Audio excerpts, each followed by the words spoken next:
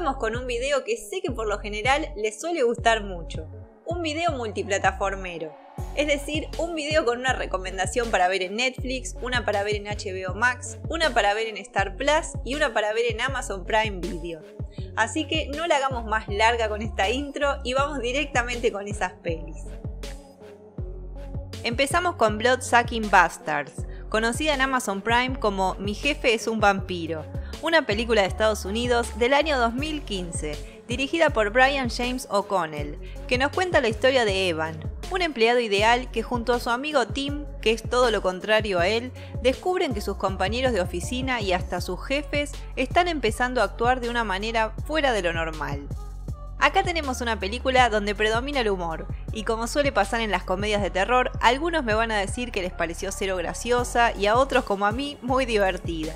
La película nos mete de lleno en el hábitat natural de lo que es una oficina de trabajo, y nos presenta algunas situaciones y personajes típicos de ese ámbito, sin dejar de lado nunca jamás al humor. La historia es simple y el título deja bien en claro cuál es la temática pero a pesar de que ya vimos cientos de pelis de vampiros, esta me pareció una propuesta distinta y divertida. Son 85 minutos que nos pasamos dentro de esas oficinas, llegando a conocer bastante bien a los personajes y sus vínculos, tanto intra como extralaborales. Los personajes me gustaron y las actuaciones también, con un cast lleno de caritas conocidas, como Frank Kranz, muy recordado por su papel en The Cabin in the Woods de 2011, Joey Kern, recordado por su papel en Cabin Fever de 2002, peli de la que hablé en el video que les dejo por acá arriba, y Pedro Pascal, conocidísimo por muchas cosas, destacando Game of Thrones. Pero volviendo a esta historia, les cuento que tenemos algunos momentitos que intentan meter suspenso y terror, pero lo que predomina siempre son las secuencias más de acción y sangre, sin olvidar las de humor, que son por las que todos estamos acá, ya que en una comedia de terror es lo que solemos encontrar. Es tristemente real y hasta obvia, pero no por eso menos hermosa, la analogía que se hace entre la catástrofe sobrenatural que sucede en la película y lo que los dueños de las grandes empresas buscan o desean ver en sus empleados en la realidad. En fin, no es una obra maestra ni una película que les vaya a cambiar la vida, pero a mí me pareció divertida, cero pretenciosa, con lindos personajes y nada rebuscada, además de una linda cantidad de sangre. Seguimos con The Texas Chainsaw Massacre, The Beginning, conocida en HBO Max como La Masacre de Texas, El Inicio, una película de Estados Unidos del año 2006 dirigida por este hombre que vemos en pantalla, director de Darkness Falls de 2003 y acá nos cuenta la historia de dos hermanos que antes de ir a luchar por su país en Vietnam, deciden pasar un último fin de semana de diversión en Texas junto a sus novias, pero en la ruta tienen un accidente y sus destinos cambian drásticamente. Es una precuela de The Texas Chainsaw Massacre del 2003, pero tranquilamente podría funcionar como otra remake de la original, porque tenemos todos los ingredientes de la del 74 bastante presentes los adolescentes en la ruta camino a Texas, la casa esta del horror, el matadero y el negocio de la carne, introduciendo también el tema del canibalismo, la suciedad y pestilencia con ese olor a muerte que traspasa la pantalla, la familia retorcida y enferma y por supuesto a nuestro querido Leatherface con su pasión por las mascaritas y su hermosa motosierra, además de la mítica escena de la mesa y de la persecución por el bosquecito.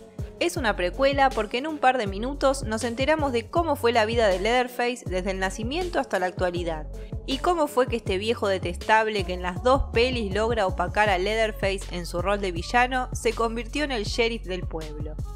La película está ambientada en los 70s, pero sinceramente no me lo creo ni por un segundo. Se siente súper 2000osa. Pero más allá de eso, la historia tiene un ritmo genial, en donde no hay baches, pero sí mucho horror, con escenas tremendas de tortura y violencia. Hay varios mutilamientos y sangre por todos lados. No la recordaba tan brutal, pero me encantó.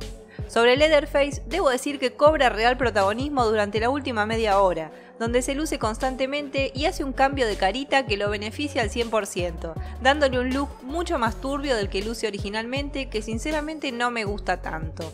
El cast adolescente es hermoso literalmente hablando, destacando a Jordana Brewster, a quien vimos en The Faculty de 1998, peliculón del que hablé en el video que les dejo por acá arriba.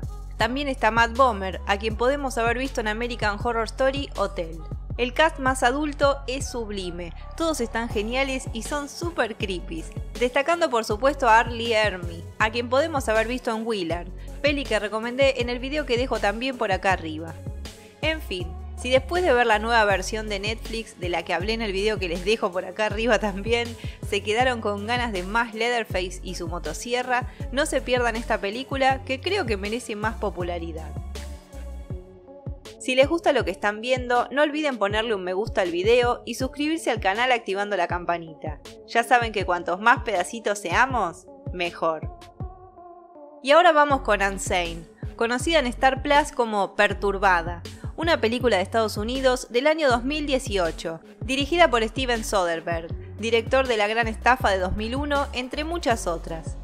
Acá nos cuentan la historia de Sawyer, una muchachita que como se sentía un poco deprimida fue a ver a una psicóloga y de la nada quedó internada, o encerrada mejor dicho, en un manicomio. Creo que ya se los dije, pero amo las historias que se desarrollan en psiquiátricos, porque realmente son lugares de la vida real que no sé por qué me dan mucho miedo. Y además, ¿qué más terrorífico que ver a una persona aparentemente sana mentalmente quedar internada de la nada en uno de esos lugares por tiempo indefinido? No, no, no, es tremendo. Además, es una historia de horror real, sin ningún elemento fantástico ni sobrenatural, así que por mí, genial. Me gusta mucho que vemos a la protagonista adaptándose y teniendo que vincularse con gente desestabilizada mentalmente e intentando sobrevivir como si de una cárcel se tratara. Pero además de eso, otra temática fuerte es el acoso, porque hace un tiempo esta pobre muchachita tuvo un problema muy grande con un stalker y eso tiene también su peso en la historia actual. Las actuaciones están muy bien, Claire Foy, a quien podemos haber visto en First Man del 2018, no solo es empática, sino que genera muy bien esa sensación de no saber si ella se está volviendo loca o las cosas están pasando de verdad.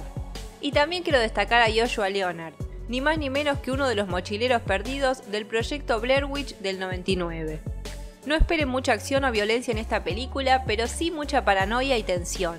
No hay mucho más que decir. Es una película chiquita que cuenta con una historia de terror más psicológico o thriller psicológico si se quiere, aunque repito, para mí es un horror. No será una locura jamás vista, pero creo que funciona y vale la pena recomendar. Datazo que no suma ni resta, pero es interesante, la película está completamente filmada con un iPhone. Y terminamos con Exterminadores do Alem contra Laura Dubaniero, o como nos la presenta Netflix. Perdón. O como nos la presenta Netflix, Los Exterminadores del Más Allá contra la Rubia del Baño. O en inglés, Ghost Killers vs. Bloody Mary. Una bizarreada brasilera muy hermosa del año 2018 que nos cuenta la historia de un grupo de youtubers que tienen un canal donde por supuesto exponen supuesta actividad paranormal. Lo cierto es que el canal va en picada y con la ilusión de remontar la situación, aceptan una misión muy especial, ya que deberán enfrentarse a un espíritu que habita en los baños de una escuela. Bueno, antes que nada, aviso que esta no es para todo el mundo. Supera la categoría de locura hermosa y también la de bizarreada hermosa para convertirse, con todo respeto y cariño, en una basurita hermosa. Les aviso porque dudé mucho en recomendarla acá, ya que es una película para ver un sábado a la noche tomando algo y si se puede con amigos, mejor. Yo tuve el honor de verla en una Netflix Party con los pedacitos que aportan económicamente al canal y realmente nos morimos de risa. Si lo que están buscando es una comedia de terror y les gusta lo bizarro, la sangre y no tienen problema con un poco de incorrección, no se la pueden perder. Lo más lindo de todo esto es que al parecer la rubia del baño o la leyenda de la que se habla en esta película es una leyenda urbana real de Brasil, así que más puntitos para la peli, metiéndole a esta historia de terror toneladas de humor negro por minuto. Ya les digo, dura casi dos horas y tiene un ritmo increíble, no para un segundo, les juro. Y cuando estás riéndote o agarrándote la cabeza sin poder creer lo que acabas de ver, el nivel de locura vuelve a ser superado y te sorprende con otra cosa que jamás te habrías visto venir. Siempre hablando de bizarreadas extremas, por supuesto. Los personajes son bien variados, hay algunos realmente detestables y otros maravillosos aunque no lo crean, tiene sus buenos jumpscares y momentos en los que logra generar un lindo clima de terror, además de mucha sangre y violencia, con cabezas que explotan y cositas hermosas. Como si todo esto fuera poco, es también una especie de parodia o sátira de este tipo de películas, con una línea meta que siempre es genial y con miles de referencias al cine de terror. Así que nada, es una película que sorprende, es distinta, original y muy absurda y bizarra. Al principio tarda unos minutos en arrancar, pero cuando agarra ritmo no para más. Me encanta encontrar estas cositas hermosas en el catálogo de Netflix. ¿Quién sabe cuántas más habrá? Encima es cine latinoamericano, así que doblemente genial. Entonces, estas fueron mis cuatro recomendaciones de la semana. No serán obras maestras, pero son pelis que estuve viendo en estos días y que creo que vale la pena recomendar. Además no son tan conocidas y están muy buenas. Creo que son muy distintas entre ellas, pero que cada una va a saber encontrar su propio público que la sepa valorar. Como siempre les pido que me dejen en los comentarios todas sus opiniones sobre ellas y si tienen alguna otra recomendación de pelis geniales y no tan conocidas que estén disponibles en plataformas, no duden en dejármelo también en los comentarios. Recuerden que todos los miércoles a las 19 horas vemos en el Cineclub de Twitch Cuentos de la Cripta. Ya estamos en la segunda temporada y este miércoles los espero a todos para ver los capítulos 9 y 10. Les dejo el link en la descripción y nos vemos allá. Pero antes de eso, este domingo a las 19 horas de Argentina, también vamos a ver Evil Dead 2 de 1987, peliculón dirigido por Sam Raimi y protagonizado por el gran Bruce Campbell. Así que los espero a todos por allá también. Agradezco muy fuerte a todos estos maravillosos pedacitos que me ayudan mes a mes con un dinerito. Si quieren sumarse, hay varias formas de hacerlo. Las dejo todas en la descripción, pero desde ya, mil gracias a todos.